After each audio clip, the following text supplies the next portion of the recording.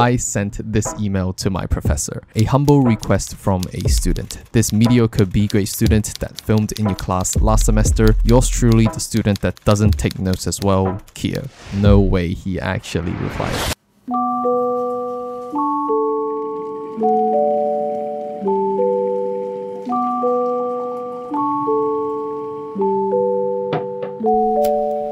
Welcome back. Hope you guys are having a great day so far. This week is, there's no other words of putting it, but it's really stressful. I'm stressed out. My face is breaking out. Like, Look at this dude. Okay, don't look at it. I have been a good student, okay? Spending literally days and weeks procrastinating on the things that I need to do. Why do I always wait until like the last week before I start doing anything substantial in life. This week is like an admin week for me because I have so many documents that I have to handle. You see these? These are paper. I Haven't touched them in a while. This is what I have to deal with for this week. So you see this? This is a pen and you can write stuff with it. Amazing. Wow, I wonder who come up with this invention. Besides like the admin stuff, I also have two assignments that I have to churn out for this week. But like who cares about assignments, right? No, actually, I care. I don't want to fail the course. But yeah, it's 8.45. It's still early. I'm going to head off to campus now. But before that, I'm going to hit the gym. So let's go. He off of work, keep playing. Leave you all alone, laying at home. Oh, oh, oh. He off of work, just saying. So I think I forgot to mention is that I'm not actually taking this class because I already took it last semester. I'm only here to find the prof because I have to ask him to sign a couple of documents. So I'm just going to sit at the back and do my own work.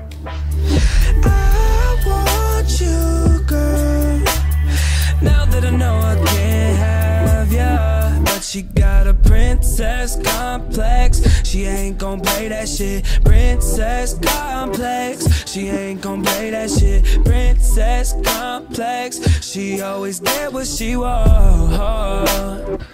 She always get what she want. So I just got back from class and it's really hot outside today. So yeah, this was the email that I sent to my professor and I'm just gonna read it out. A humble request from a student. Dear professor, this mediocre B grade student that filmed in your class last semester was fortunate enough to be nominated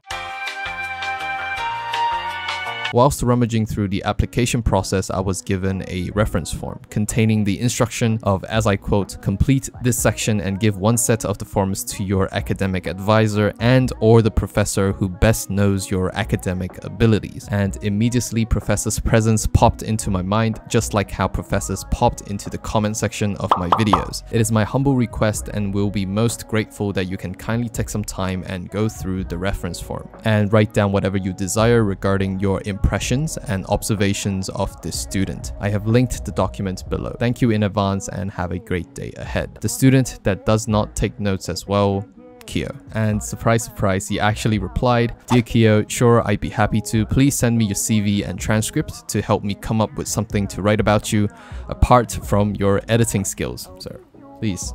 Please, so you don't have to, okay? You're making me blush. Hope everything goes well and you'll be inspired to produce more interesting videos under a new environment. Best, professor. Yeah, that's my professor. And that was pretty cool. No cap, but the professor has good vibes. I can't disclose everything in the email because nothing is confirmed yet and I'm not the type of guy that says, oh, I have a secret and please don't tell anyone because that's how secrets become not secrets anymore. I have met too many snitches in my life. Do leave your best guess in the comments to what the email is about. I don't want to hype things up because nothing is confirmed, okay? You know, like in my videos, I always try to give you guys some advice or something that you can take away from this video so it's not like you guys just watch some random videos on YouTube. So I guess what we can learn from this video is Please don't write emails to your professors like I do. This is not a good example. Unless your professor watches your YouTube videos and approve of your stupid decisions, I don't think that a lot of professors like emails to be written in this format, okay? There's a good chance that they might not even reply you